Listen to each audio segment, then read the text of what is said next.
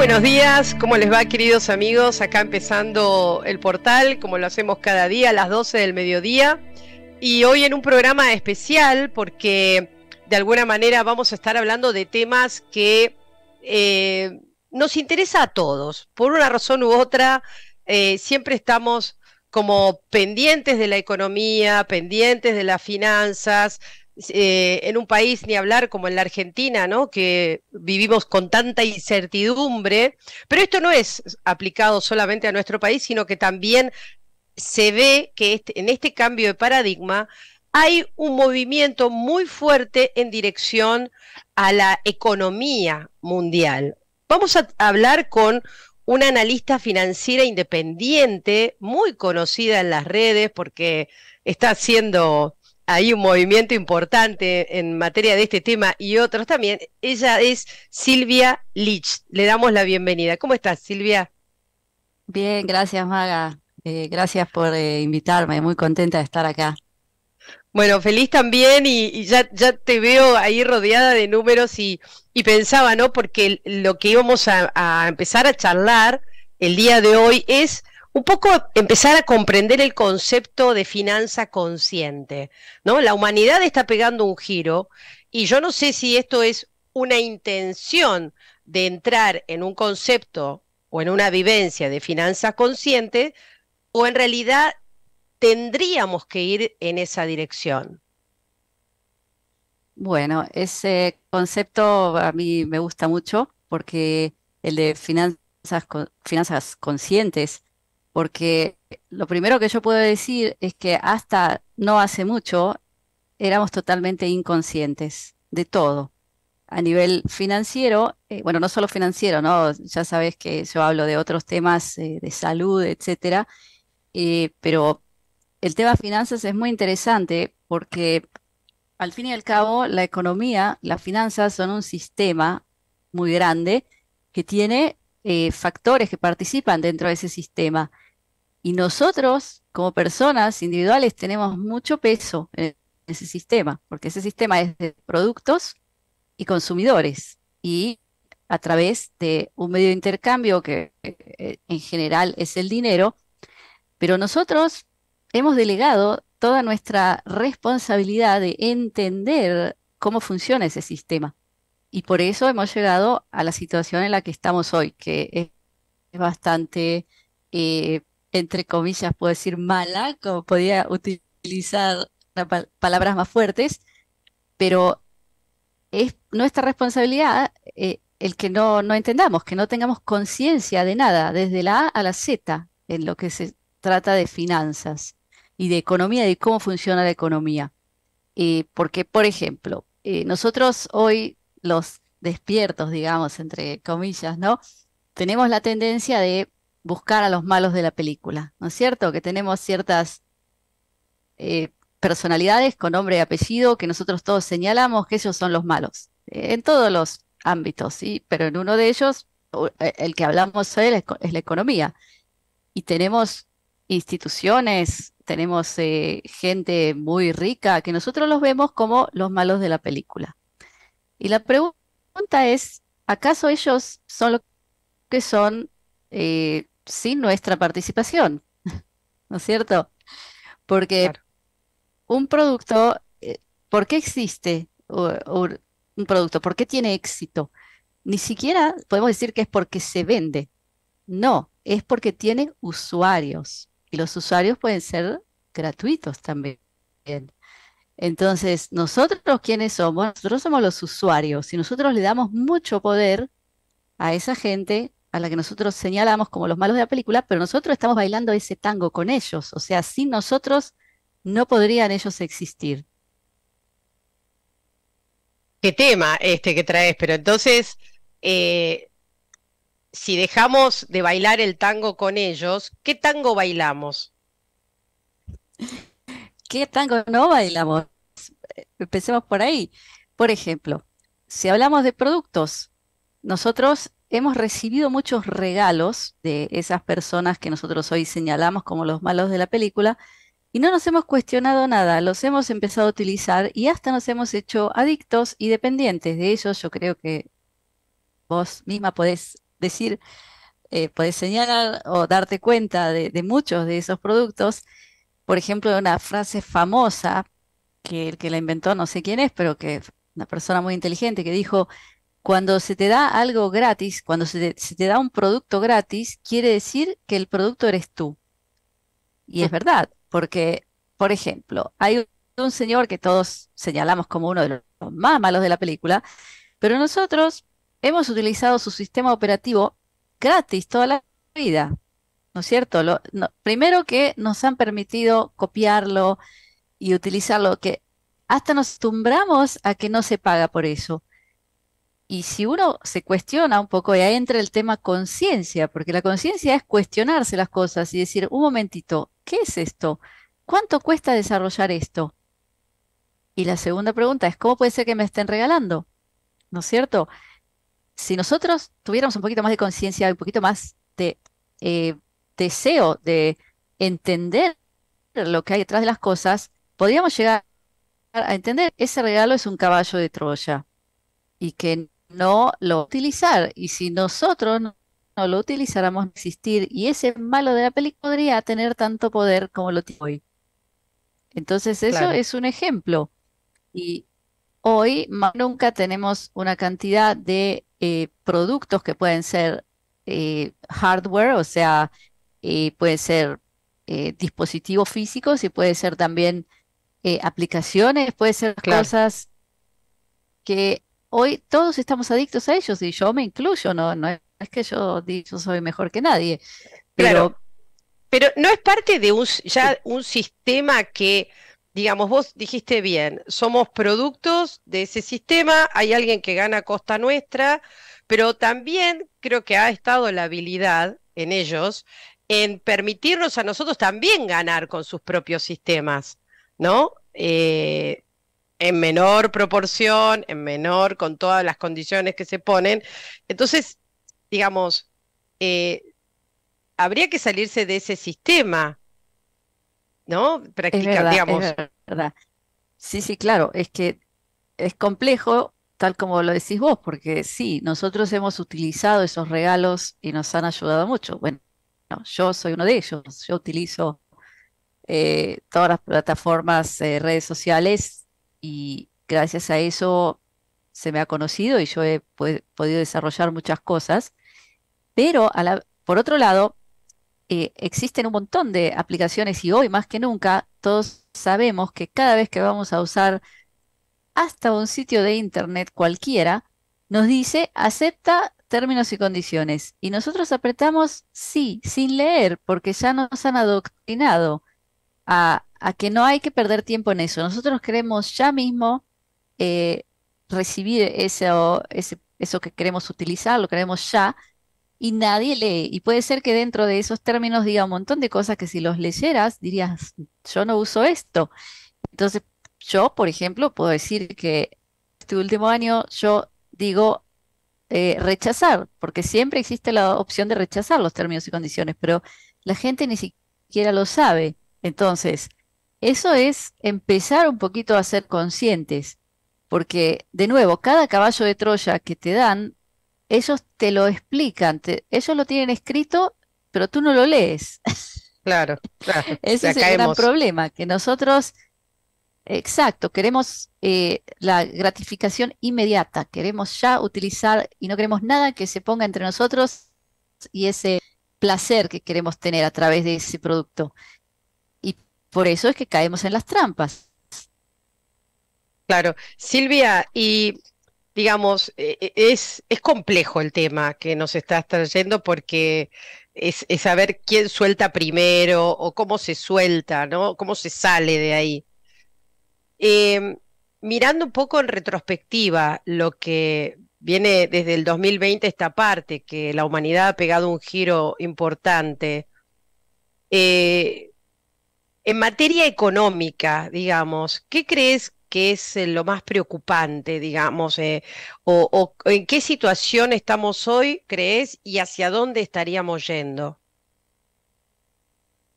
Bueno, eh, primero es que en este momento estamos al borde del fin de un ciclo, porque ahí viene el segundo tema importante que, bueno, yo empecé hablando de alta tecnología, de sistemas operativos, pero vamos a ir a algo más simple, que es el dinero.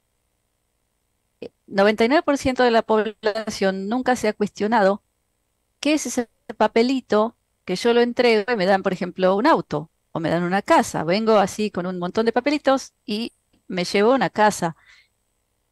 No mucha gente se ha cuestionado qué es, cómo nació, para entender si lo que ocurre con él en este momento es correcto o incorrecto. Por ejemplo, el tema de quién genera el dinero. Ese mismo papelito que tiene tanto poder, porque lo cambias por un bien tangible, ni más ni menos. Entonces, por ejemplo, yo creo que hay mucha gente que no sabe que Estados Unidos, que es la gran potencia que genera el dólar, que es la moneda que rige en todo el mundo, que tiene tanto poder, sobre todo en los países eh, hispanoparlantes, que lo que piensa la gente es que el dólar es algo que lo genera el gobierno norteamericano. No es cierto. El dólar lo genera un ente privado con accionistas. Entonces, yo creo que últimamente ese tema cada vez está más sobre la superficie y la gente lo empieza a saber, pero no lo supo nunca y tampoco se enteró que la Reserva Federal no es un ente gubernamental. Entonces, ahí ya empezamos a entender que aquí hay algo que está muy mal, porque, por ejemplo, si vos vas y imprimís billetes, vas presa. Pero si un ente privado con accionistas imprime miles y millones de dólares y va y se compra todo el mercado financiero, se compra todos los bienes inmuebles, etcétera, él no va preso. Y la pregunta es ¿por qué? Son preguntas muy simples, pero ahí están las verdades grandes en esas preguntas tan simples, porque no hay ninguna justificación para eso.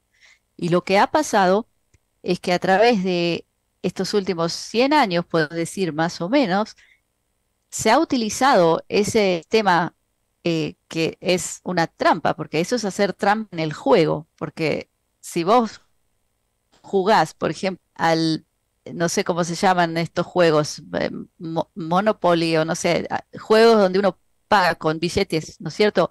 Si vos vas y sacás de tu manga un fajo de billetes, te van a echar, te van a decir, no, estás haciendo trampa, estás trayendo billetes que son de fuera del sistema y te echan, ya perdiste. Pero en la realidad no es así. Y vienen un grupo de gente y generan miles y miles de millones de dólares y así es como se apropian del planeta entero, porque vos generás ese dinero y lo prestás a países en desarrollo, cuando ese dinero lo generaste del aire y después le decís, el famoso este, esta tasa de interés altísima Sí, perdón Silvia, ¿este famoso eh, respaldo en oro de esos billetes es, falso también? O sea, es, ya, no, dejó de ser. Dejó de ser y también oficialmente dejó de ser en el año 71.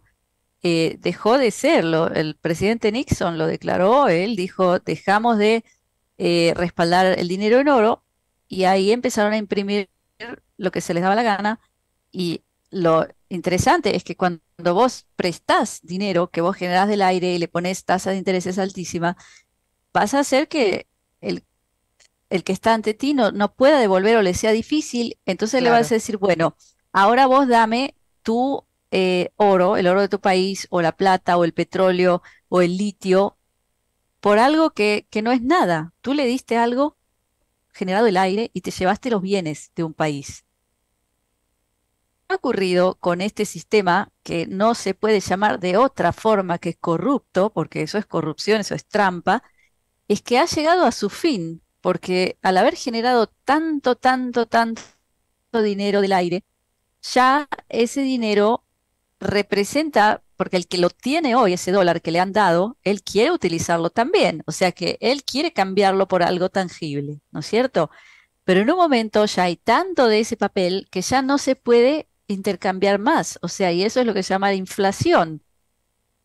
¿Esto, ¿Esto aplica solo al dólar, eh, Silvia? ¿O a otras, digamos, porque hay muchas monedas, ¿no?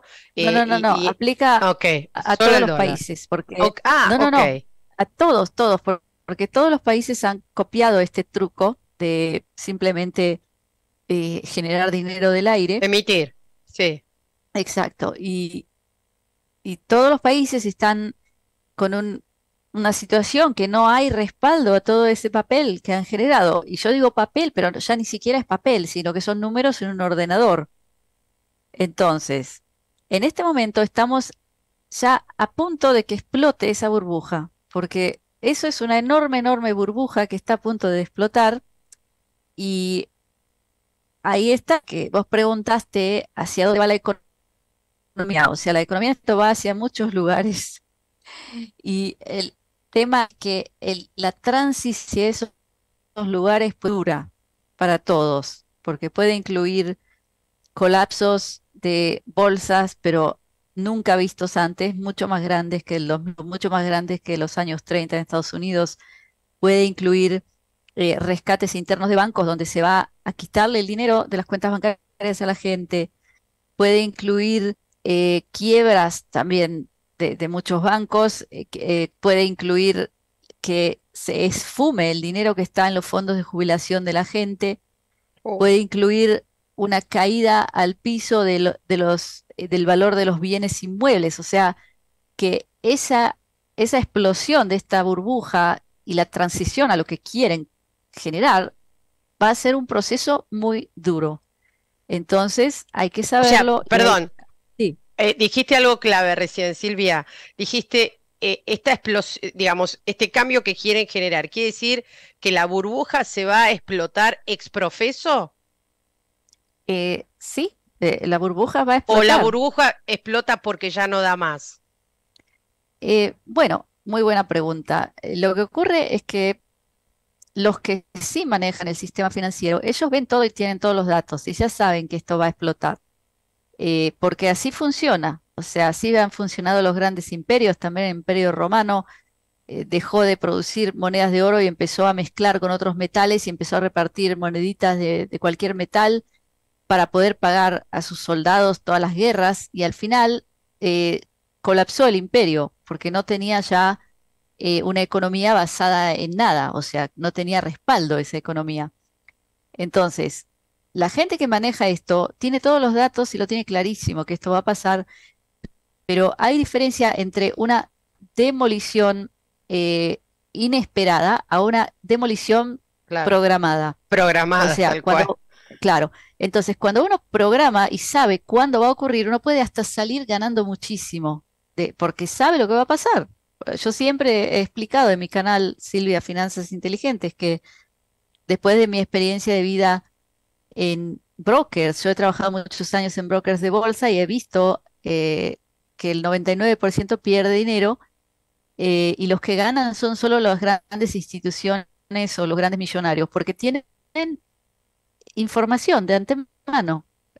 Eso es todo, esa es la clave. Ellos saben lo que va a pasar, saben las leyes que van a dictar o que va a cambiar en las regulaciones y ellos compran, venden los valores de acuerdo a eso y por eso ganan, no por inteligentes, eso se los puedo asegurar.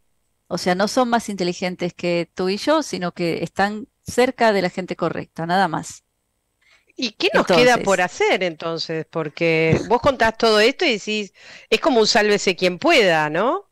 Sí, sí, sí, en este momento sí. O sea, yo vengo ya tres años hablando de esto porque, bueno, todo lo que pasó a nivel de situación mundial de salud fue como un acelerador enorme, quizás hasta, no sé, eh, ha sido utilizado para acelerar esto. Lo dicen grandes eh, personalidades que hay que aprovechar esto que pasó para ciertas cosas, ¿no es cierto? Para resetear toda la sociedad y la economía. Entonces, eh, yo vengo hablando de que lo que tenemos en el banco hoy vale como, como nada, como aire, eh, o sea, dentro de un tiempo no va a valer nada. Entonces, mientras se puede transformarlo en algo tangible, hay que hacerlo. Eso es lo que hay que hacer hoy.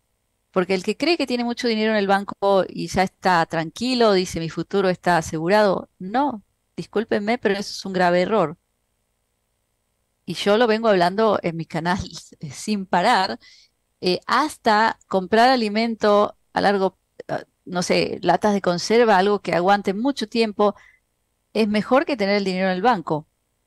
Porque, sí. Eh, no, sí, perdón que te interné este punto, porque también en toda esta etapa, digamos, el año pasado, con todos esos altos y bajos, las criptomonedas cobraron una relevancia importante. Digo, los hacedores de este, de esta explosión, eh, esta demolición de la burbuja eh, programada, ¿son parte de la creación de estas criptomonedas? Bueno, primero que es muy importante eh, aclaración y decir que hay una, un ente que es Bitcoin y todo lo demás es otra cosa. Y Bitcoin ni siquiera la puede llamar criptomoneda. O sea que la bolsa de criptomonedas son proyectos y tokens, etcétera, que son todo especulación y todo simplemente proyectos que deseaban que su moneda crezca muchísimo y la gente encantada, queriendo generar ganancia rápida, puso su dinero ahí, la hizo subir más. Eso es una cosa y eso todo para mí no vale nada y va a explotar tal como está explotando todos estos últimos meses. Y hay un solo ente que es algo nuevo en el mundo, no solo en la economía, que es Bitcoin. Y eso es otra cosa, o sea que no tenemos que confundirnos y ponerlos en la misma bolsa. Perfecto. yo, yo creo, porque nadie sabe quién es o fue Satoshi Nakamoto, la persona que lo generó a nivel de formularlo y escribir el white paper, o sea, el papel blanco que es las bases de cómo hacerlo y qué es y por qué. Nadie sabe quién es, pero no hace falta ni saber quién es, porque uno como dice la famosa frase que dijo Jesucristo, por los frutos los conoceréis. O sea, yo no, no necesito saber quién es Satoshi Nakamoto, yo veo el ente que se generó luego del plano que él dejó al mundo, y ese ente ya, ya es lo que es, o sea, está siendo lo que promete ser. Y yo no creo que tenga que ver con la gente que programa eh, la demolición de la economía, todo lo contrario, no por casualidad lo atacan tanto la Reserva Federal, el Fondo Monetario Internacional, la Unión Europea, o sea, todos los entes que son los que eh, manejan eh, lo que pasa en el mundo a nivel económico, lo tratan de destruir porque no es de ellos. Y no solo que no es de ellos, sino que le puede pertenecer a cualquiera. Aquí sí que hay democracia. Es decir, por ahora, hasta ahora, lo pudo tener quien quiera, aunque sea un, no, necesitas tener un Bitcoin entero. Pero bueno, yo no sé, no quisiera que esta entrevista sea solo hablar de Bitcoin porque... No, no, no, claro, pero para entender porque también forma parte de, de, este, de este cambio que se está visualizando, ¿no? Hasta dónde el papel billete empieza a desaparecer en pos de la moneda digital un poco venía por ahí. ¿no? La, la, pregunta. Eh, Silvia, nos, nos sugeriste, eh, bueno, billete. sí, el, billete, lo que conocemos como, como billete a la moneda digital, ¿no? Al, no tangible, digo. Claro, em, pero ahí tenemos que hacer una, una aclaración, porque ¿por qué nosotros tenemos ahora papel billete y queremos que siga existiendo? Porque el papel billete es algo anónimo y es algo que lo puedes tener tú en tu bolsillo y nadie puede meterte la mano en el bolsillo y sacártelo, a menos que sea un ladrón, ¿no es cierto? Ahora, cuando tenemos ya la programación de lo que son las monedas digitales gubernamentales, que son algo que no es descentralizado, todo lo contrario, dentro de los papeles que ellos han publicado, que son los papeles oficiales, documentos oficiales que dicen cómo van a funcionar, ellos lo dicen explícitamente, que ellos van a poder sacarte dinero de tu, de tu cuenta sin ni siquiera preguntar. Entonces, si tú ahora tienes un billete de 100 dólares en tu bolsillo, nadie puede venir y sacarte un pedacito y decir ahora tenés 98. Mañana viene y te saca otro pedacito, ahora tenés 95. Porque es algo independiente, lo tienes tú y es anónimo, tú puedes ir y comprar lo que quieras y nadie va a saber tú y no tiene por qué saber porque ese es nuestro, nuestro derecho natural de, la privacidad. En cambio, eh, cuando se generen estas monedas digitales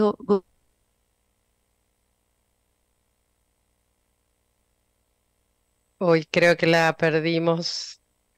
Estaba con la conectividad Gubernamentales, se acaba de desaparecer tu dinero. O sea que si tenías 100 dólares, quizás en seis meses vas a tener 70 y en un año vas a tener 50 y en dos años vas a tener cero, si no lo utilizaste. Entonces, eh, hoy el dinero de papel nos permite aún conservar lo que tenemos ahorrado y utilizarlo como nosotros queramos y que nadie pueda utilizar esa transacción mía en mi contra para decir, no, usted porque compró esto y yo decidí que usted no lo puede comprar, porque esas son las monedas digitales gubernamentales, decirte por ejemplo, desde mañana no podés comer más carne y cuando vayas al supermercado con la aplicación a pagar con la moneda digital, no va a pasar, te va a aceptar la transacción porque es carne. Te va a decir, no, tenés que comer hamburguesa de cucarachas. Eh, Eso sí pasa. Entonces esa va a ser la forma de dirigirte a que consumas lo que ellos quieren. O sea, pero eso es explícito, no es invento mío, no es teoría de con- conspiración. El que se toma el trabajo de investigarlo lo puede leer. Por eso yo hablo de economía consciente.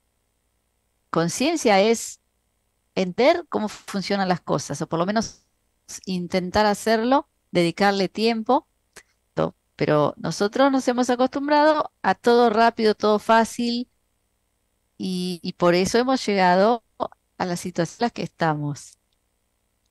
Y Silvia, ¿qué países crees que se van a ver más afectados con esta explosión? Entendemos que países como el nuestro, aquí en la Argentina, América, ¿no? Los más subdesarrollados, pero eh, al primer mundo, digamos, o, de qué manera va a impactar esto en cada una de las regiones, ¿no? Bueno, yo creo que no, que los países que se van a ver más dañados y más impactados van a ser los países de Europa, o sea, el primer mundo, los muy desarrollados, y, eh, todo está centralizado en esos países eh, y, por ejemplo, ya a nivel de digitalización están mucho más avanzados, entonces es mucho más fácil implementar, eh, por ejemplo, las monedas digitales gubernamentales y hacer desaparecer el dinero de papel. Por ejemplo, en los países escandinavos ya casi no existe el dinero de, de papel. Pero por otro lado, puedo traer el ejemplo de el país Nigeria, que fue el primer testeo de moneda digital gubernamental y la gente no quiso ut- utilizarlo. Simplemente se negó y no descargó la aplicación y no la utilizó. Entonces, ahí vemos como nosotros somos parte de ese sistema económico y por eso yo dije que el éxito de un producto no depende de quién lo compra, depende de los usuarios, si hay quien lo use. Y si no hay usuarios, no va a poder utilizarse. Pero vemos como un país como Nigeria, que se lo conoce como un país lleno de corrupción, lleno de eh, cosas, o sea, no de los más desarrollados a nivel tecnológico, etcétera. Ahí la gente sí está consciente de lo que está pasando y está un poquito más despierta a nivel de lo que es hacia dónde quieren que vaya la economía. Y ellos dijeron no. O sea, no quiere decir que hayan ya ganado la batalla porque eh, les están haciendo, lo- los están presionando mucho de, de- de diversas formas para que no tengan más remedio que hacerlo. Pero de todas maneras, yo creo que todo depende de nosotros, porque nosotros somos los usuarios. Claro. Silvia, ¿hay algún país que, consideres, por ejemplo, el, rol de China en todo este tiempo? China que en los últimos 30 años, ¿no? También ha tenido como un crecimiento tan que, que ha, que ha ganado un lugar muy, muy importante y, y va, creo yo, eh, a convertirse, si ya no lo es, no sé, en la primer potencia mundial, pero eh, ¿cómo? Porque es una cultura tan diferente, con una mirada tan diferente de las cosas.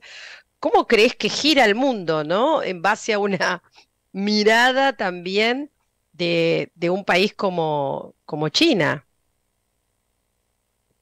Bueno, es una pregunta muy interesante y compleja, porque el tema de la economía consciente, que es de lo que hablábamos hoy, eh, eso se conecta íntimamente con el crecimiento de la China, porque, por ejemplo, yo que vengo de vivir 35 años en Israel. En Israel hay una cadena de, de tiendas, de negocios que se llaman un dólar, que bueno, para Argentina quizás es mucho, pero quiere decir que todos los productos cuestan un dólar. Digamos que para Argentina sería 100 pesos. Todos los productos por 100 pesos. Entonces todos muy contentos entran ahí y se compran cosas que uno no puede creer cómo cuestan tan barato. Y por supuesto que todo viene de la China, 100%. Y ahí viene la pregunta interesante que tiene que hacerse una persona consciente, ¿no es cierto? Nosotros los despiertos tenemos que tratar de, de ser un poquito conscientes. La pregunta es, ¿cómo puede ser que esto sea tan barato?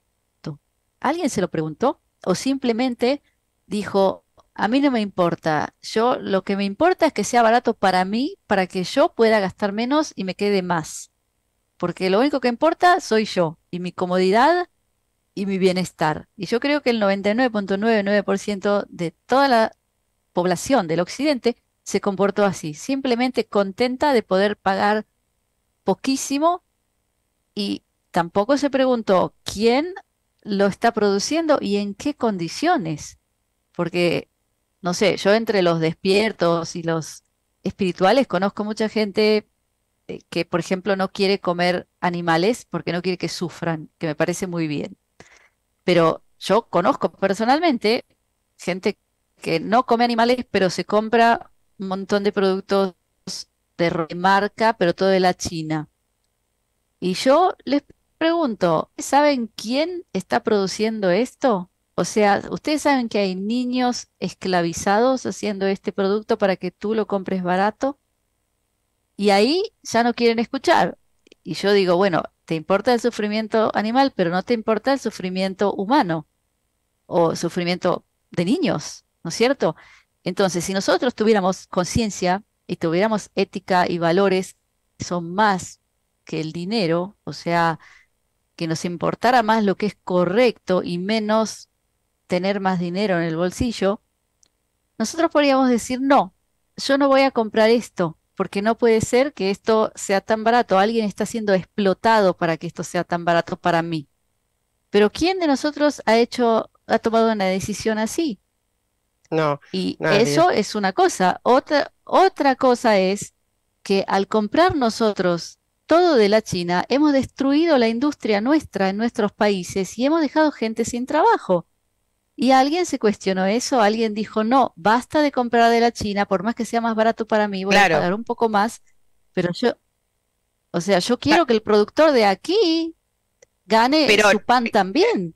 Claro, pero siempre se, se, se, habló también de que no se podía competir con los valores que presentaba el mismo producto la China con la industria de cualquier país. Por eso, digamos, ¿cuántas veces? Yo creo que uno empieza a mirar las etiquetas de todo y todo, si no es made in Taiwán, es made in China.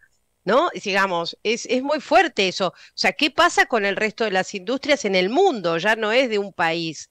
Evidentemente, por las condiciones, no, no se puede competir. Eh, por los valores. Claro, pero ¿qué quiere decir? No, pero ¿qué quiere decir competir? Competir quiere decir que hay un comprador que mira este producto que cuesta 10 y mira al de al lado que cuesta 2. Y decide él. Claro. Tal como yo expliqué desde el principio de esta entrevista, nosotros somos responsables porque el comprador o el usuario es el que decide quién va a tener éxito. Entonces, lo que ha ocurrido con nosotros, y me incluyo yo, no digo que yo sea mejor que nadie, es que nosotros hemos mirado hacia el otro lado. Lo único que hemos mirado es qué bueno para mí, que voy a pagar menos. Y nada más, no nos ha importado ni quién lo produce, en qué condiciones, que es explotado, esclavizado.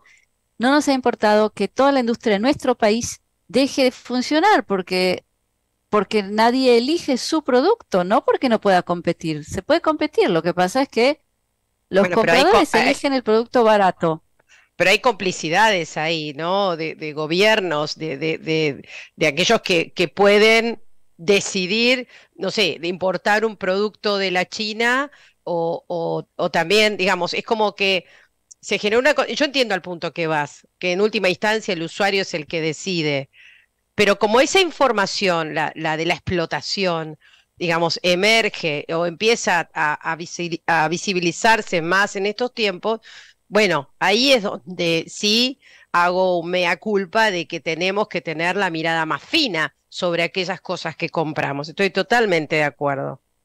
Claro, porque por ejemplo, volvamos al tema del veganismo o de la gente a la que le importa el animal. Hay gente que compra huevos orgánicos de gallinas libres que cuestan el, doble de los huevos industrializados, porque le importa el sufrimiento animal. Y está más. O sea que se puede tomar la decisión de darle lugar a la industria local y no solo por industria local, sino también para que dejen de explotar a niños en China, en África, en Taiwán, en Vietnam, porque así es como se genera una producción tan barata, o sea, aprovechándose de, la gente que no tiene, pagándole nada y con condiciones infrahumanas.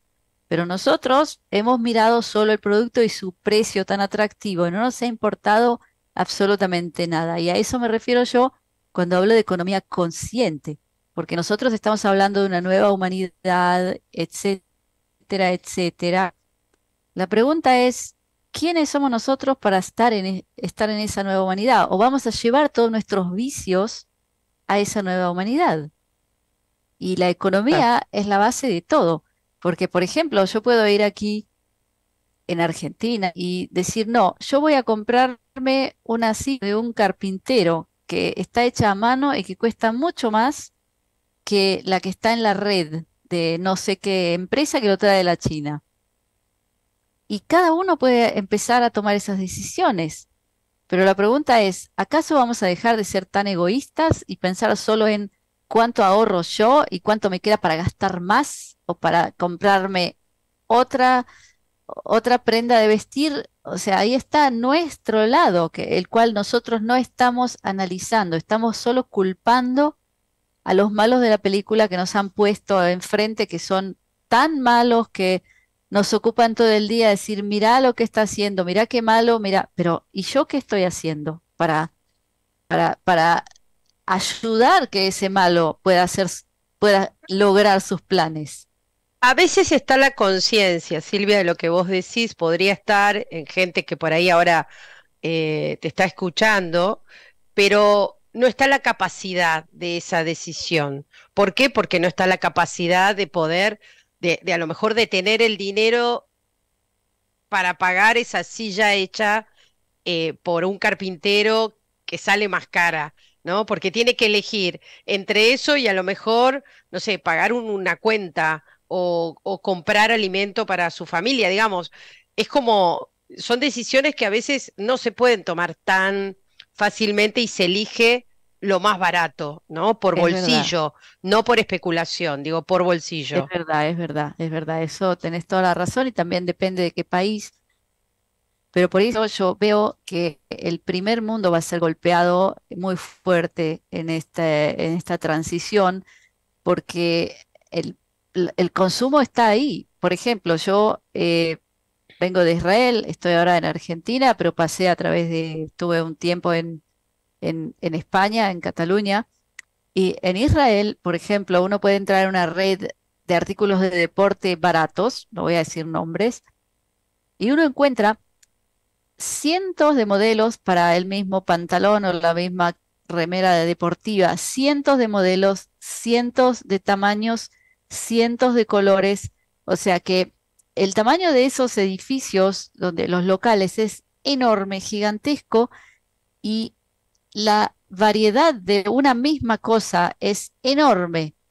En cambio, cuando yo vine ahora a Argentina, después de no estar muchos años aquí, yo veo que no hay variedad de nada. O sea, he entrado en alguna tienda de ropa y tienen una, digamos, eh, una camisa, ¿sí? De un tamaño y de un color. No hay del mismo más de un tamaño o más de un color.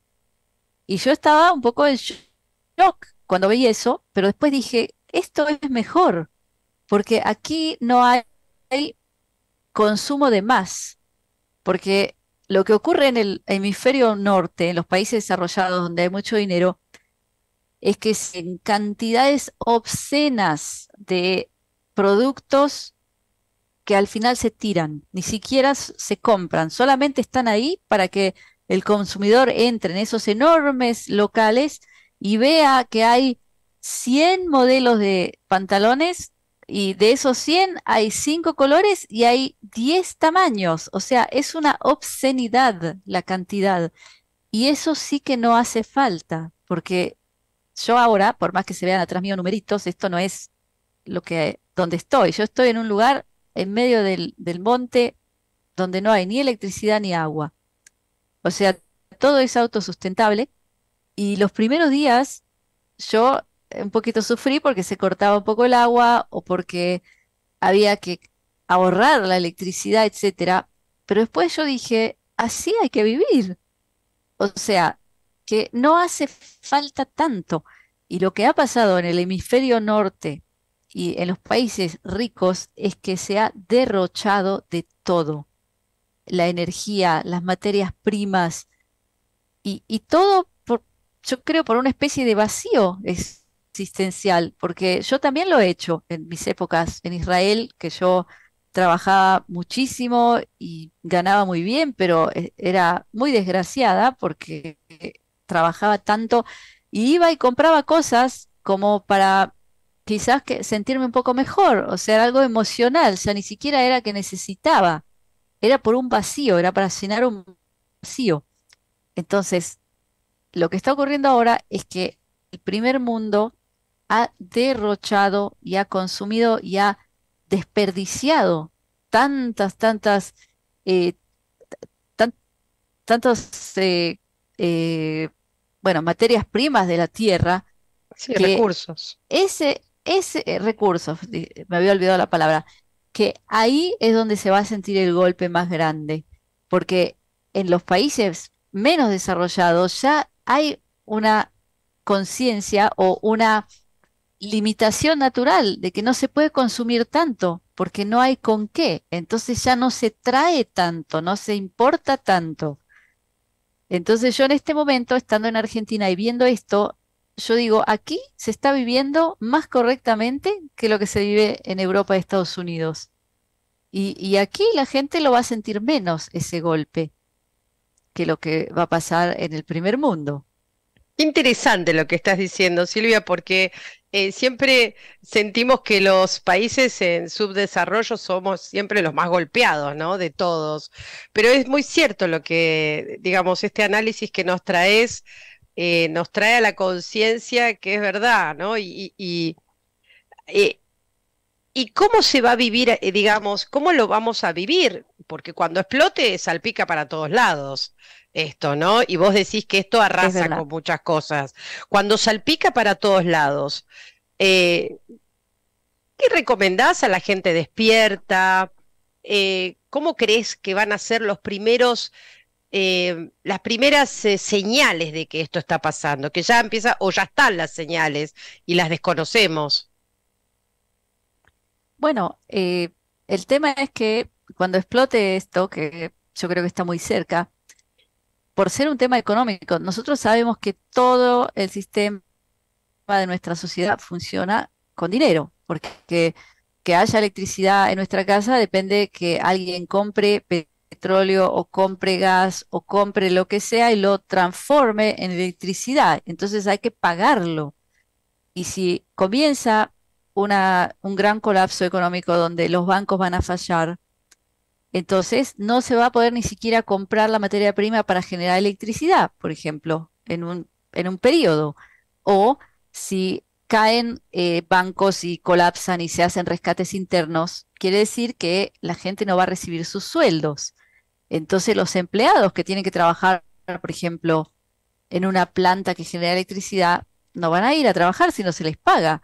Entonces, ahí vamos a empezar a ver cómo de golpe ocurren problemas en el sistema de la sociedad, que es abastecimiento, por ejemplo, de energía, y Internet, el famoso apagón, que, o sea, no tiene que ser un apagón total de 100% en todo el planeta, pero yo aquí, eh, la semana pasada, Argentina quedó medio país sin electricidad, ¿no es cierto? Eso ya pasó. Yo ni siquiera sé los motivos reales ni, ni intenté buscarlos porque hoy en día la información que aparece oficial, yo no, ya hace mucho que no, no busco ahí eh, los motivos reales de nada. Eh, pero bueno, el hecho es que ocurrió y que puede volver a ocurrir. Entonces, hay que entender que el mal funcionamiento del sistema de pagos mundial, que son los bancos, o el intento de implantar una moneda digital gubernamental, puede fallar también, porque son eh, aplicaciones de alta tecnología que pueden fallar. Todos sabemos que cuando nosotros adquirimos, por ejemplo, la última versión de un sistema operativo siempre funciona mal, ¿no es cierto? Eso lo sabemos, porque salen al mercado antes de que están terminados, siempre. Entonces, ¿quién dijo que cuando digan, bueno, desde hoy empezamos con moneda digital gubernamental, ¿quién dijo que va a funcionar bien? Eso nadie lo puede prometer. Pueden haber Además es algo errores. Que, claro, que estaría en un campo experimental, ¿no? Porque no, no, no. Exacto. No ha habido una transición, digamos. Exacto. Por ejemplo, yo hablé en mi canal Silvia Finanzas Inteligentes eh, de una noticia que en Rusia están las grandes empresas como Gazprom, que es una empresa que vende petróleo, eh, gasolina, etcétera, que ellos están en contra de que se empiece a utilizar la moneda digital gubernamental, porque ellos ya saben cuánto van a perder solamente por la transición y los problemas que van a haber con los sistemas de pagos, ellos ya saben que van a perder miles de millones de dólares en la transición. O sea, es un hecho que, nadie sabe cómo va a funcionar a nivel técnico. Entonces, eh, pueden fallar muchos sistemas que hoy funcionan en nuestra sociedad, en nuestra casa, eh, a, nivel de energía, comunicaciones, hospitales. Cualquier cosa puede pasar. No lo sabemos, nadie lo sabe realmente. Silvia, ¿y cómo ves el tema del hambre también? Porque, eh, digamos, me quedo con esta mirada que nos trajiste sobre el país subdesarrollado, que a lo mejor hoy no la población, la, población más sufrida no tiene la, necesidad de la diversidad de productos, ¿no? Esto como mencionabas antes que pasaba en Israel, pero pensaba, eh, el, eh, acá la población por ahí, o, la población emergente quiere comer, ¿no? O sea, necesita recursos para comer o tiene que buscar la manera de comer. ¿Cómo, cómo crees que se perfila este, este nivel de pobreza también en el mundo, ¿no? Bueno, el tema este es muy delicado porque eh, todo este colapso sistémico también va a llevar a que haya producción de alimento, porque de nuevo, los que producen alimento es un negocio, ellos lo venden, no es de regalo. Entonces, si ellos tienen problemas con los sistemas de pago, ellos mismos no van a poder comprar, por ejemplo, el fertilizante, las semillas, no van a poder cosechar, eh, los transportes no van a poder de un lado al otro el alimento, o sea que un témico, puesto que va a ser muy difícil el abastecimiento de alimentos a las ciudades, porque la ciudad es totalmente dependiente de algo que está lejos de ella. Entonces, el lugar más delicado es la ciudad. Ahora, yo que estoy paseando por las sierras de Córdoba, Argentina, yo veo que todo el mundo tiene acá sus gallinitas, su huertito. Hay animales sueltos, vacas, cabras, eh, corderos, caballos, por todos lados, por todos lados. O sea, ni se sabe. O sea que hambre no se va a pasar en, en, las zonas rurales, porque la gente ya tiene una independencia más eh, a nivel alimentario y también a nivel, por ejemplo, en, eh, en, donde estoy yo, en esta zona, mucha gente tiene pozos de agua, etcétera, usa agua de vertientes. Hay muchísimas zonas que ni siquiera están conectadas al sistema. Entonces, esas zonas no van a sentir tanto ese colapso. Por eso es que yo hace tres años que vengo diciendo, salgan de la ciudad, múdense a zonas rurales, porque yo sabía que esto iba a pasar. Las zonas que van a sufrir menos son esas.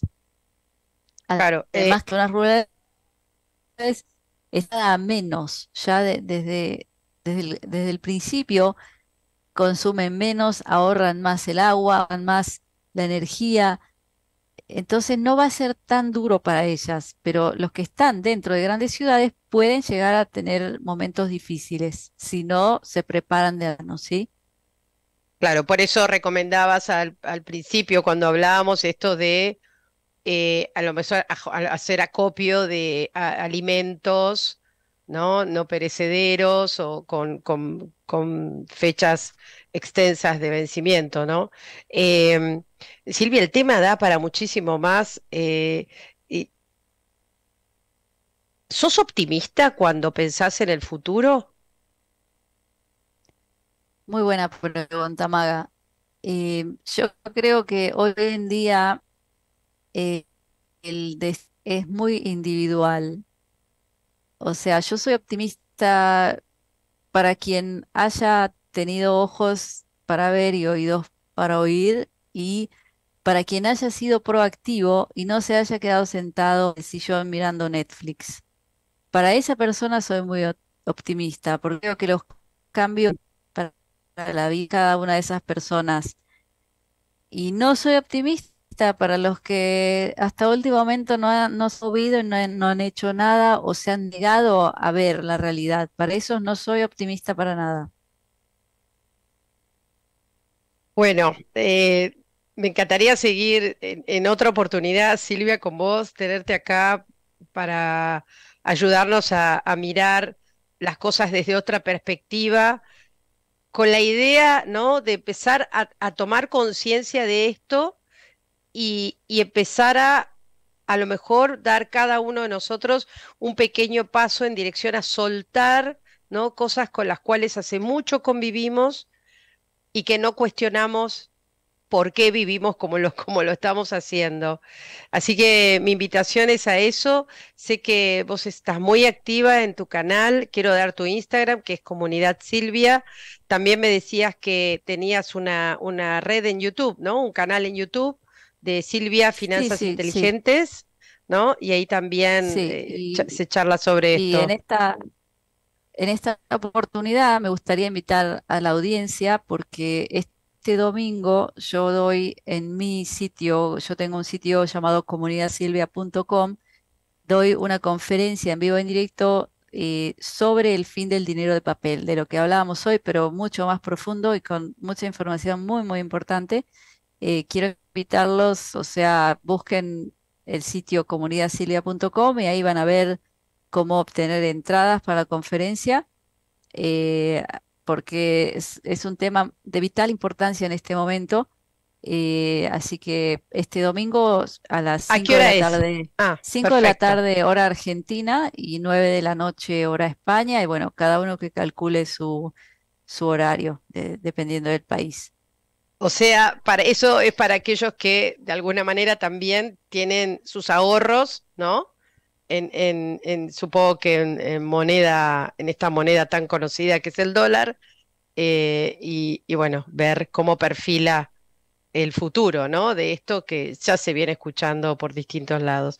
Eh, Silvia, bueno, entonces decimos comunidadsilvia.com, la página web, este domingo a las 5 de la tarde, en Instagram, Comunidad Silvia, y en YouTube, Silvia Finanzas Inteligentes. Eh, vamos a seguir charlando, Silvia, me va a encantar invitarte nuevamente eh, y, y que, nos, que nos sigas guiando en este proceso de cambio. Me parece muy valioso tu aporte. Gracias. Gracias, Maga. Un placer para mí estar acá. Y bueno, yo no sé si yo soy quien para guiar a nadie. Yo lo único que puedo hacer es dar mi opinión subjetiva. No hay por qué estar de acuerdo conmigo tampoco. Eh, pero bueno, nunca está de más escuchar una opinión más, me parece. Totalmente, totalmente, totalmente. Eh, eh, más allá de que has estado en terrenos donde por ahí muchos de nosotros no, y tenés una, una, mirada más ampliada de la situación. Así que, eh, y lo que traes es conciencia a partir de, todas estas charlas que das en todos tus canales. Así que, Silvia, muchísimas gracias. Silvia Lich, con quien estábamos compartiendo este espacio. Gracias. Gracias a vos. Hasta